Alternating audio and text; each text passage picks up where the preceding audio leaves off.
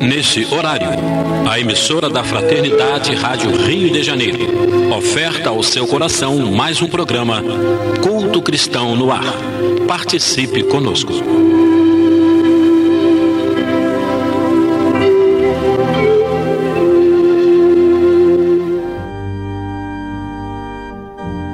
Queridas irmãs, queridos irmãos, aqui estamos mais uma vez reunidos para a realização do nosso culto cristão no ar.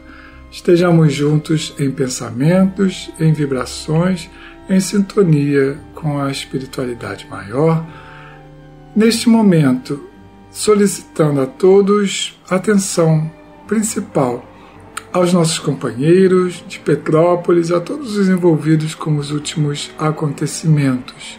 Que possamos enviar boas vibrações que estão sendo muito necessárias neste momento.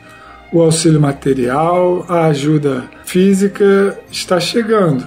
Muitas pessoas preocupadas em ajudar, se mobilizando para dar aquele suporte necessário, mas a ajuda espiritual também faz-se importante nesse momento. Muitas pessoas ainda desequilibradas, alguns espíritos que perderam seu corpo físico talvez ainda não estejam entendendo a situação em que se encontram.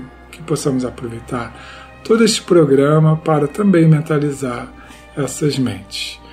Aqui participando conosco, Lidiênio, Eni, João e Cleia Nonato. Vamos à nossa página inicial. Ela está contida no livro Lampadário Espírita, do Espírito Joana de Ângeles, psicografia de Valdo Pereira Franco. Tem como título Influência Ações.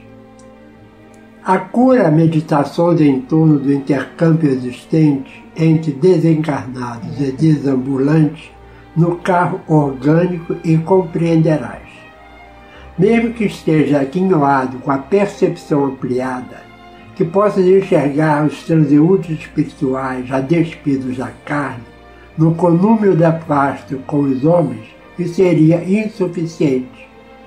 O homem dissoluto passa e o caracteriza como sexólatra. O ganancioso transita e o identifica como avaro. O odiento se acerca de ti e o denominas por malsinado. Este se irrita, espalhando acerbidade, aquele gargalha, disseminando ironia. Esse persegue, focalizando a vingança, e todos são truculentos destruidores da ordem da paz. Não te encolarizes com ele. Silencia acusações. São portadores todos eles de obsessões sutis em estado grave. Estão ao passo da loucura, caminhando pela via perigosa do autocídio, consciente ou não, ignominioso, porém, sob qualquer aspecto considerado. A obsessão generalizada é clima psíquico e graça entre as criaturas humanas da atualidade. Necessário a vigilância pelos olhos da oração, para a manutenção do equilíbrio e da serenidade interior no curso das horas. Viajante das lides do passado, avançamos pelos rumos do futuro. Quase todos, entretanto, vinculados a compromissos que foram esquecidos, não mais desapareceram. Nascemos e renascemos, girando na roda incessante dos fracassos que se acumulam sobre outros fracassos que vimos ressarcir. Comparsa de crimes que morreram sem se consumirem, repontam na cena das dúvidas e, sintonizados por processo de atração específica, perseguem e são perseguidos no círculo estreito da própria inferioridade. Amigos que se transformaram em verdugos e irmãos que se converteram em adversários por nossa culpa seguem-nos irritados e odientos. Fulguram, todavia, aqui e ali as lições da vida e surgem em toda parte as abençoadas ocasiões de refazer e perdoar, chamando-nos e orientando-nos. Raros somente possuem olhos ou descobrem que fazeres ou como fazerem pela própria libertação. Faz exame diário das tuas ações à luz do Evangelho. Ausculta os sentimentos e reflete-os no espelho da consciência. Consulta aspirações e indaga como te encontras. Faz a provável proximidade da desencarnação e compreenderás quanto é urgente o curso de iniciação na conduta cristã, oferecendo valores para a contabilidade da vida, vida que está em tudo e em todo lugar esperando por ti. Permear-te-ás, se assim o fizeres, de compaixão por eles, os nossos irmãos de mente viciada, psiquicamente atribulados, aprendendo na dolorosa lição deles o exercício da fraternidade e da elevação de ti mesmo. Senhor Jesus, aqui estamos, mais uma vez, para te pedir benefício da situação que nos envolve no momento. Que todos possam receber ajuda espiritual que estão precisando, principalmente os nossos irmãos de Petrópolis. Que a tua misericórdia se faça, que a tua luz ilumine todos os corações e que possamos, Senhor, nesse momento, envolver a todos aqueles que vivem nessa situação difícil que estamos passando. É assim, Senhor, contando contigo, contando com a tua ajuda, encerramos a nossa prece a te pedir por todos aqueles nossos inimigos que estão nos envolvendo nesse momento, precisando de ti, de tolerância e de muito refazimento espiritual. Assim seja. Então vamos iniciar aqui o estudo do nosso capítulo do Evangelho e a Cleia vai fazer para a gente aqui a primeira parte. Vamos ao estudo. Paz a todos. Abram o Evangelho. O capítulo é o 12 e fala sobre os inimigos desencarnados. E nós vamos estudar o item 6. Tá? Vamos iniciar.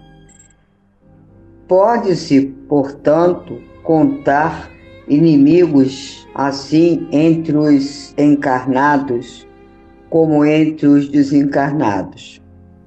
Os inimigos do mundo invisível manifestam sua malevolência pelas obsessões e subjugações, com que tanta gente se vê a braços e que representam um gênero de provações, os quais, como as outras, concorrem para o adiantamento do ser, que, por isso, as deve receber com resignação e como consequência da natureza inferior do globo terrestre. Se não houvesse homens maus na terra, não haveria espíritos maus ao seu derredor. Se, conseguintemente, se deve usar de benevolência com os inimigos encarnados do mesmo modo se deve proceder com relação aos que se acham desencarnados. Eu vou ficando nesse parágrafo para que nós possamos conversar falando sobre os inimigos. Inimigos é bom não tê-los, né? E para que nós nos precavemos para não fazer inimizade, devemos pensar antes de falar, que é para não magoar o nosso irmão.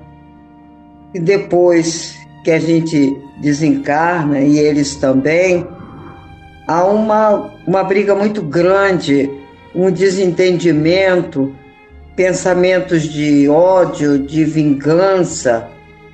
E Seria muito bom se a gente pudesse evitar essas coisas.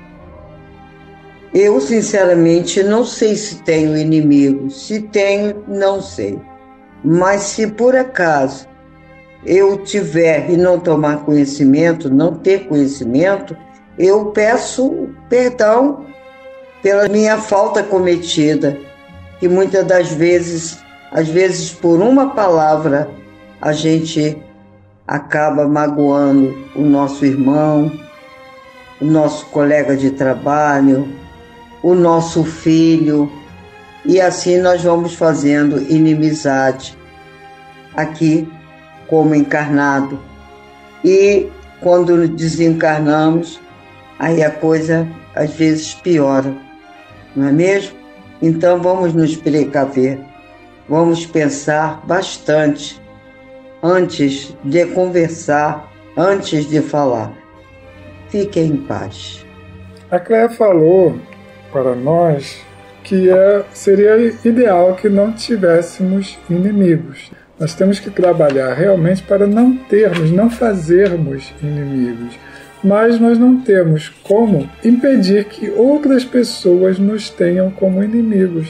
E a gente sabe que existem os nossos inimigos pessoais, de coisas que nós fizemos nesta encarnação ou em encarnações anteriores, mas temos também aqueles inimigos do bem, os inimigos da causa, encarnados e principalmente desencarnados, aqueles que não querem ainda ver o bem reinar na terra. São espíritos eternamente maus que agem assim? Não. Um dia eles também serão bons, estarão nas fileiras do bem, mas hoje ainda não estão. Então, continuando a leitura do Evangelho, a gente vai falar exatamente sobre isso, sobre a influência desses espíritos que hoje ainda estão nas fileiras do mal.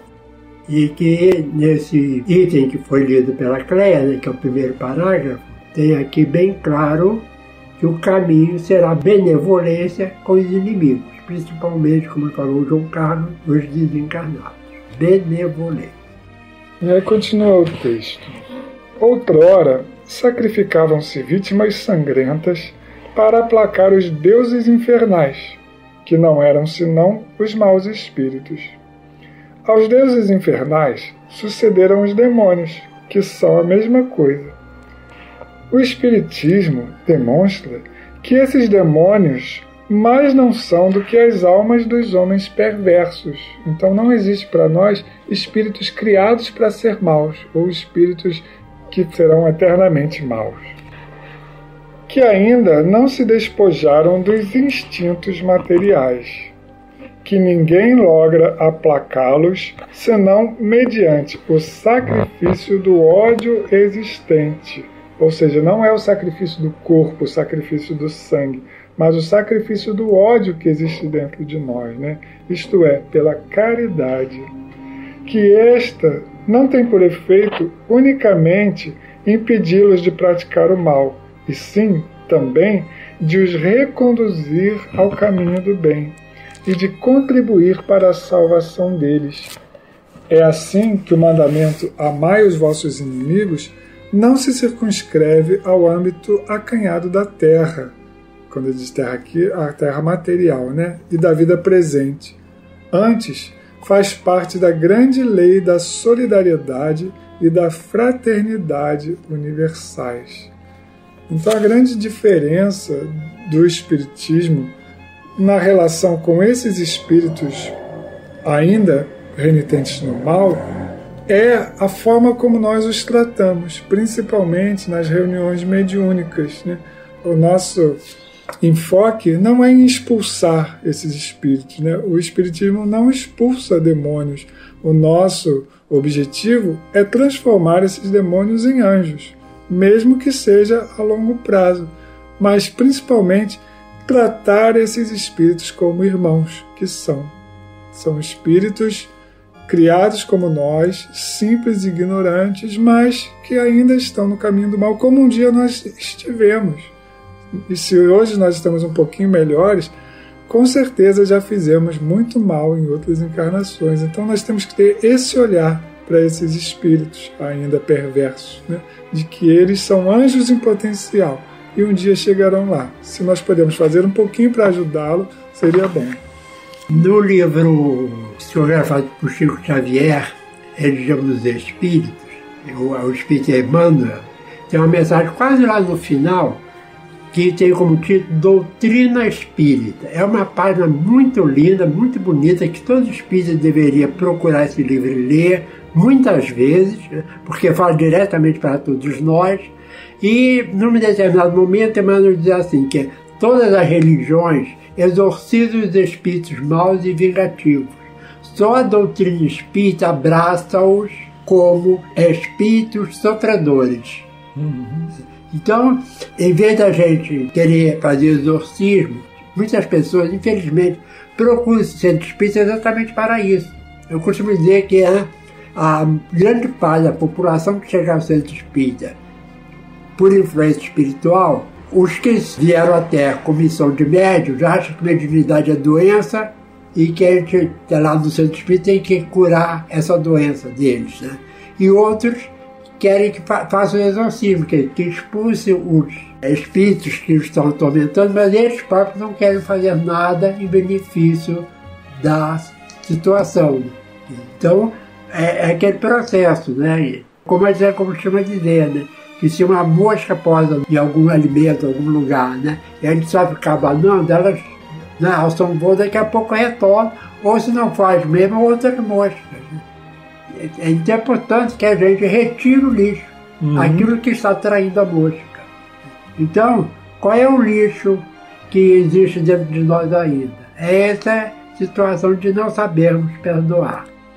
A, a falta do perdão é esse lixo que faz com que os espíritos, até no, no próprio Evangelho, tem um momento lá né, que Jesus narra que saíram uns, mas voltaram outros piores ainda, né? Então não adianta. É, a, a reforma íntima é que irá resolver o problema dessas inimizades que nós mesmos somos às vezes culpados do mundo espiritual. É lógico, como o João Carlos aqui falou no início, nós temos inimigos que são da causa, não são nossos particulares. Mas também esses nós temos que entender que às vezes defende um ponto de vista que é um pouco equivocado e temos que com muito carinho, muita atenção, muita caridade e fazer com que eles entendam que a doutrina espírita não veio para acabar com nenhuma outra religião, ela veio somar. E a mensagem do Cristo é a mesma, de amar a todos indistintamente. E só sofre essa influência negativa na verdade, aquela pessoa que, como a gente diz, abre uma brecha né, no seu proceder, nos seus pensamentos. Quando um espírito quer nos influenciar para o mal e nos encontra trabalhando no caminho do bem, fazendo alguma atividade produtiva, fazendo uma boa leitura, vendo um bom filme, escutando uma música edificante, ele não vai encontrar essa brecha para nos influenciar. Né? Ou ele vai desistir de nós porque nós não temos, não oferecemos para ele o que ele gostaria, ou quem sabe até ele comece a despertar e a mudar, vendo o nosso exemplo, o nosso proceder, comece a também se modificar. As palavras convencem, mas o exemplo arrasta. Então, quando um espírito nos vê trabalhando no bem, pode ser que ele se modifique também. Né? Se for um inimigo da causa, ele vai tentar nos influenciar para o mal, vai tentar nos prejudicar. Mas talvez nos encontre tão ocupados que a gente nem dê atenção para eles. E até o próprio movimento espírita agora né, está tentando, né, existe um movimento de alguns é, espíritas mais esclarecidos em relação à mediunidade, né, de não usar mais o termo reunião de desobsessão assim, de reunião de atendimento espiritual através do diálogo.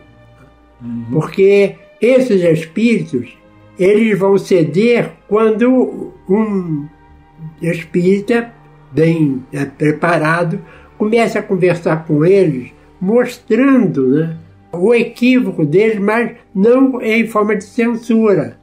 É, inclusive lembrando as lições que Jesus nos legou. Isso é que é importante. Então, através do diálogo, é que nós vamos fazer com que esses espíritos mais endurecidos cedam e acabem com essa influência espiritual, entendendo que eles também têm que fazer a parte deles. Nós participávamos de uma reunião mediúnica lá no Centro Espírita Caminhamos com Humildade, que é o centro que todos nós aí fazemos parte. O João agora está no outro Centro Espírita como diretor, para manter o centro aberto, está com dificuldade de trabalhadores. Mas lá no Caminhamos nós dirigimos uma reunião mediúnica e eu sempre procurava conversar com os espíritos, né, mostrando a eles né, que é, Jesus é um caminho, né? E sempre falando com eles com assim, sem crítica, e procurando também, primeiramente, deixar que eles falassem, e nunca me colocando como uma pessoa melhor do que eles, mas sempre aconselhando a eles a entenderem que aquele não era o caminho que eles deviam estar, é. Que era perda de tempo para eles próprios, né? Uhum. O ódio prejudica mais a criatura que odeia do que o que está recebendo a vendida, né, o processo de vingança. E só para fechar esse assunto, né, realmente uma das coisas mais bonitas do Espiritismo é essa possibilidade de diálogo com esses irmãos menos esclarecidos desencarnados. Mas a gente nunca deve deixar de olhar também para os que estão à nossa volta, os encarnados, porque senão nós estaremos criando possíveis clientes das próximas reuniões de desobsessão no futuro. Se não olharmos com carinho para os que estão do nosso lado, que também precisam do nosso carinho, do nosso afeto, as pessoas do nosso círculo familiar, da nossa casa espírita, que muitas vezes não são olhadas com carinho, recebem críticas, né? Então, vamos criar também laços de fraternidade aqui na Terra, para não criarmos clientes de reuniões de atendimento espiritual lá na frente. Né? E até o, espírito Guilherme Ribeiro, né, foi um dos pioneiros do espiritismo aqui no Rio de Janeiro, né, ligado à Federação Espírita Brasileira, ele numa mensagem ele fala, né, que evangelizar os encarnados é evitar o mutirão das trevas nos escombros do além. Então a gente vê que realmente, né, o nosso trabalho aqui, como o senhor falou, com os encarnados, é evangelizar. Mas como ninguém consegue educar, se não for educado, também ninguém consegue evangelizar, já não estiver no caminho da sua autoevangelização. E nós então vamos terminar o programa, como sempre fazemos, com uma poesia. E nós preparamos uma para esse programa, né? Fizemos isso agora no dia 8 de fevereiro e escrevemos o seguinte: o título é Inimigos Desencarnados. Se é mais do que pensamos, a influência espiritual vai depender da sintonia, se para o bem ou o mal. Será a falta do perdão sério sinal de perigo, de termos do outro lado um futuro inimigo. Morreu, acabou a rixa, é pensar equivocado. Continua inimigo mesmo desencarnado. Processo de obsessão difícil que não tem jeito é resultado da lei de causa e efeito.